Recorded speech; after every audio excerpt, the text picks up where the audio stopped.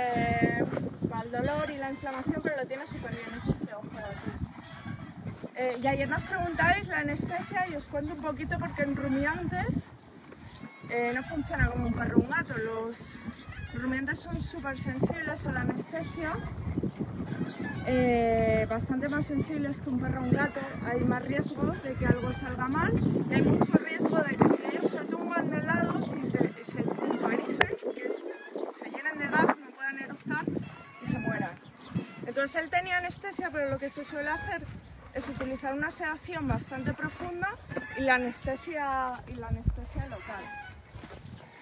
En su caso le hicieron, o sea, le hizo Carlos, que es el veterinario, le, le, le hizo una infiltración dentro del nervio del ojo para que él no sintiera nada. Sí que es verdad, porque igual nos dijo Carlos el tumor, nosotros pensábamos que era más pequeño y según eh, fue como sacando parte del tumor, el tumor estaba como detrás del ojo y al final sacó como, como un huevo, para que os hagáis una idea. De hecho, el ojo le salía un poquito.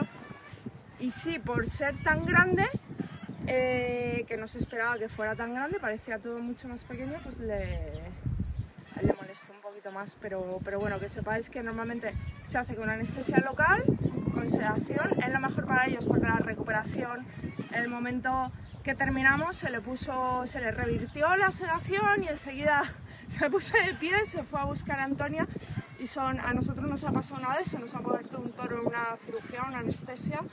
Es algo que, que- es, es horrible y a una cabrita le dio un ataque al corazón también, eh, pero al final no murió, que fue Alfonsito. Entonces es algo horrible que, que las personas que trabajan con rumiantes pues saben cómo hacerlo para reducir al máximo todos los riesgos que puedas tener, aunque siempre te puede pasar algo, y que son especialistas y lo hacen. O sea que no os preocupéis que, él no le dolió nada y está súper bien.